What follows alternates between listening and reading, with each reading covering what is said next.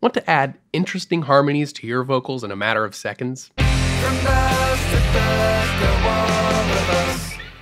Drew Swisher here with Musician on a Mission, and today I'll be showing you how Harmony Engine by Antares can help you take a solo vocal like this. Wild fire.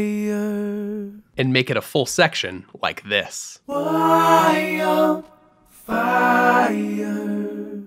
First, let's get a quick overview of the settings. These are all of your different channels basically. The original vocal is on this channel right here, while the harmonies are on these ones. As you can see, you can uh, change their volume and their panning, some stuff that you're already familiar with like that, but then you've got some uh, more complex tools as well. For example, this throat length, which is gonna basically change the formant of the sound. So by default, here's how this harmony sounds. I can still smell your smoke. And uh, if we shorten the throat length, it's gonna make it sound higher even though it's not actually changing the pitch. I can still smell your smoke. Get that Alex G or Frank Ocean from Blonde vibe, or you can go early Tyler the Creator by lengthening the throat and getting a deeper sound.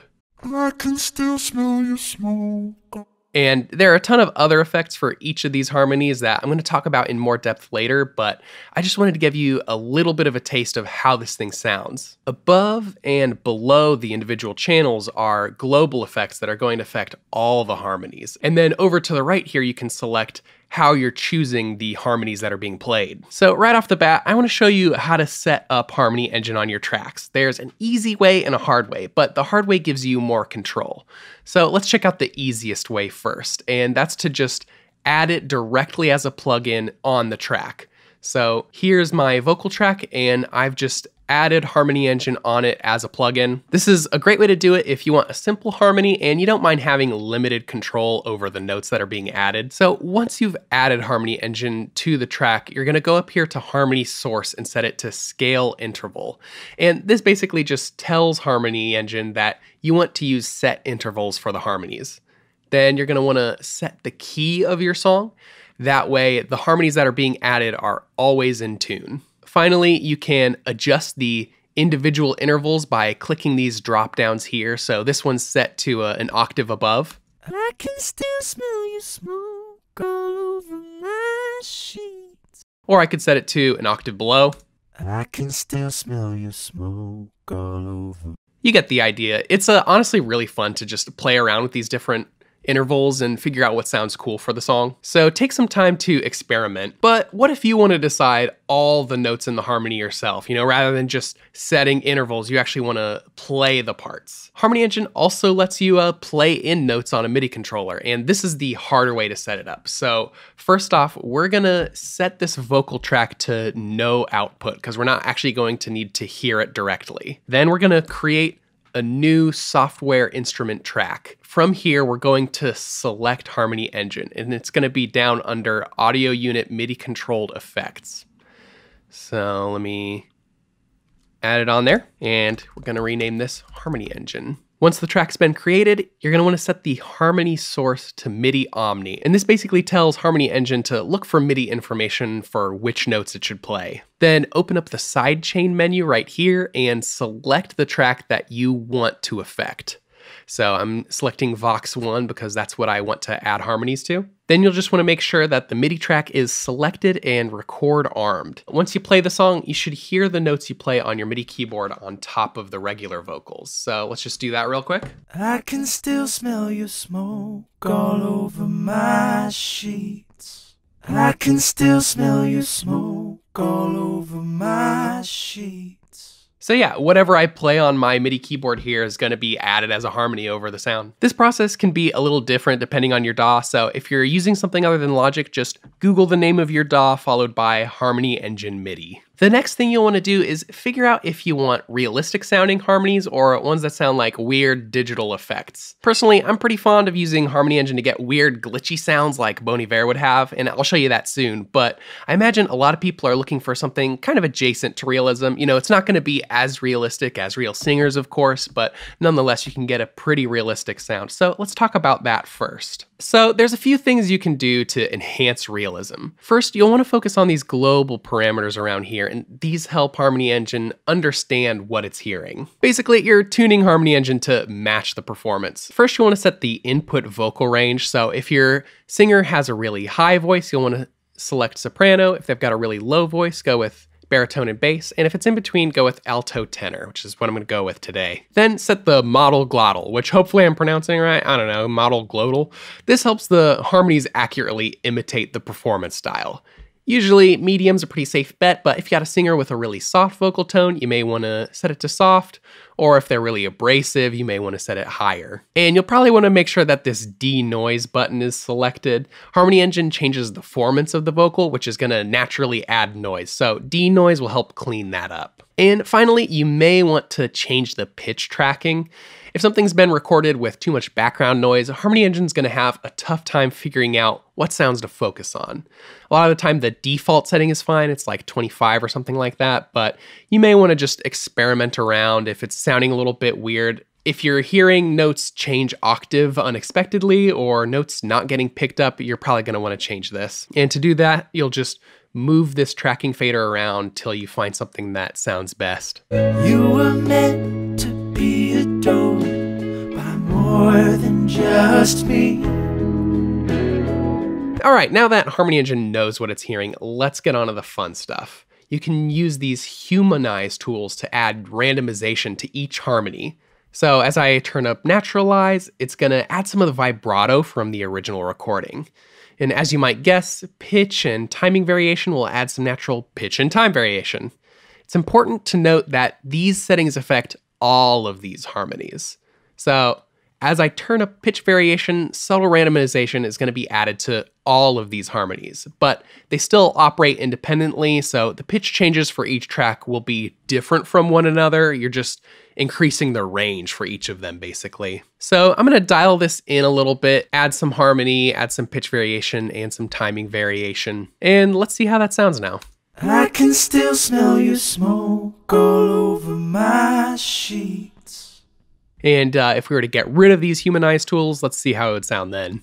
I can still smell your smoke all over my sheets. Honestly, not super different on this particular vocal, but maybe just a little bit more realistic with this humanize added. Next, we can use that throat length I talked about earlier to make it more realistic. So for example, we've got kind of a lower part here. I want to lengthen the throat a little bit, and then these are kind of higher parts, so I'm gonna shorten them. That way they sound a little bit higher in tone. So let's check that out now. I can still smell your smoke all over my sheets. Yeah, that's a lot better in my opinion. And I'm actually gonna reset these levels a little bit for some more realism. I can still smell your smoke all over my sheets. Get a better blend going. When it comes to realism, you don't need to go overboard with this throat length. A little can go a long way. So, you know, if I were to set this all the way up here, it might sound more digital rather than realistic. So don't get too wild with these. And finally, you can add more vibrato to your harmony parts with these vibrato settings below each channel. Rate is going to change how fast the vibrato is. Onset delay will change how long it takes for the vibrato to start. Pitch amount is basically your depth control, you know, how high the range of the pitch changes are. And finally, amplitude amount is going to change the volume variation throughout the track. So if you want to use these, they can be really helpful for adding separation to your harmonies, giving them unique characters. But if you want a really glued together background vocal sound, this might not help. It's also important to note that if you're going for realism, you shouldn't use the naturalize and vibrato at the same time. They can sound kind of weird when used simultaneously because you're basically stacking two different vibratos on top of each other. So I'm actually gonna turn these down because uh, I don't really want to use this. I'm going for a glued sound. There we go. Once you've got these set nicely, you may want to use the choir effect down here, and this basically multiplies the voices. So instead of our original vocal just sounding like one, we could make it sound like four voices. Let's check it out. I can still smell your smoke all over my sheets.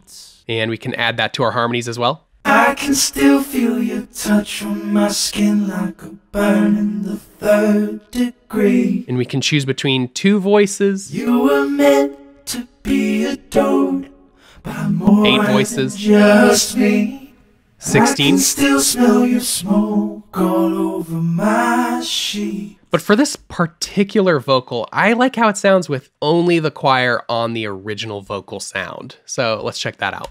I can still smell your smoke all over my sheets. It really helps cover up any of the digital artifacts in these harmonies that might give them away, and I think it really helps kind of bring it all together. So I like how it sounds just using it on the original vocal. But let's say you don't want realism. Maybe you just want cool effects. You can do that as well. So you could use steeper settings on the throat length, like I said. So let's try that out real quick. I can still smell your smoke all over my sheets. And you could also mix and match formants in a weird way. So, you know, this is a lower part. I'll make it a higher throat, or I'll make it a smaller throat length. Uh, and then I'll lengthen this one. I can still smell your smoke all over my sheets. Another cool thing to play around with is the uh, freeze button up here. And basically, this freezes whatever sound that the harmonies are on at that exact moment and just kind of stretches it out, looping it across the track. So, uh, let me show you how it sounds.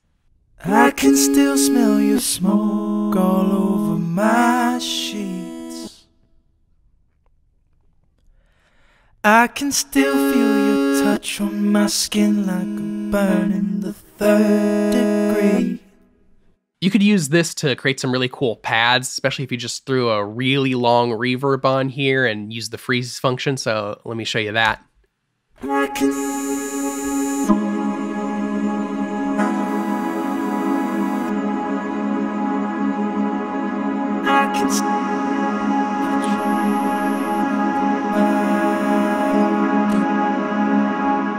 So yeah, lots of interesting stuff you could do there. Oh wow. There we go. Another thing we could do is make sure that the original audio is muted on the MIDI channel, and then we're gonna make the original track audible again. So let's do that real quick. And then now we can affect these differently. So I'm just gonna leave the original vocals dry exactly how they sounded before, and I'm gonna add some weird effects to the harmony engine. Let's check that out real quick. I can still smell your smoke all over my sheets. I can still feel your touch on my skin like a burn in the third degree. This is honestly probably my favorite way to use Harmony Engine, you know, in conjunction with these other strange effects, because you can get some really weird sounds that you wouldn't be able to otherwise. I can still smell your smoke all over my sheets. I can still feel your touch on my skin like a burn in the third degree. Lots of weird stuff you could do here, which personally I think is awesome. But one of my favorite ways to get glitch effects is by putting Harmony Engine on a polyphonic instrument. So Harmony Engine was designed for monophonic sounds. You know, it's supposed to be used on vocals, maybe a synth that's just playing one note at a time. And when you use it on a sound that already has chords and harmonies, it gets confused. And this creates really weird artifacts. So let me show you how it sounds on a guitar that's playing some arpeggios that carry over into each other. So here's the guitar by itself. I'm actually gonna crank the volume a bit.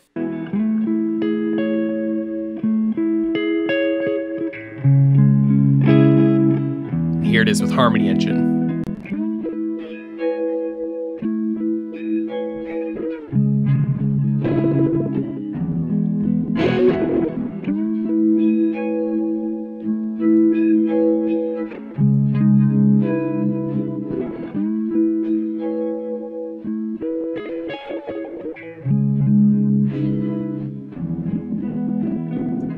As you can tell, this isn't gonna work for every song.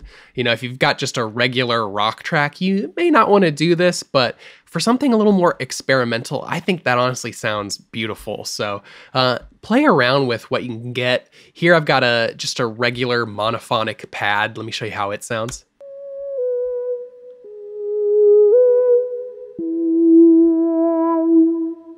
And here it is with Harmony Engine.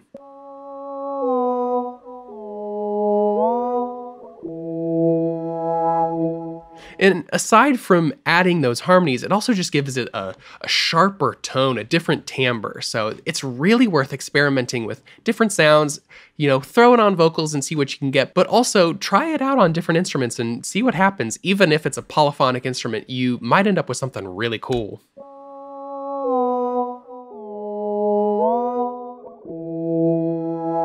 This hasn't been an exhaustive review of every single thing you can do with it. There's tons of other stuff you can do as well. I really love using it for when I'm just figuring out harmony parts for an arrangement before I even bring any other singers in. It's a great tool for getting new ideas. You know, whether you're going for something more digital or some realism, you can get a lot out of it. But having cool tools like Harmony Engine isn't gonna make every mix perfect. If you really wanna make sure you get the most out of every song, make sure you check out this free workshop from Rob Mayzes at Musician on a Mission. He goes over the seven steps to getting radio ready mixes and shows you his approach to home recording and mixing, which will help you do all of this way faster. 36,000 people have already taken this workshop, and it only takes a few days to start seeing results. So check it out if you want to avoid wasting your time and your money on the wrong things and learn the seven steps you actually need to make pro mixes. And if you like this video, don't forget to give it a thumbs up. If you really like this video, hit that subscribe button with the power of a 300 person choir singing a Wagnerian opera. All right, that's all from me. I'm Drew Swisher with Musician on a Mission. I'll see you again soon, and remember, create regardless.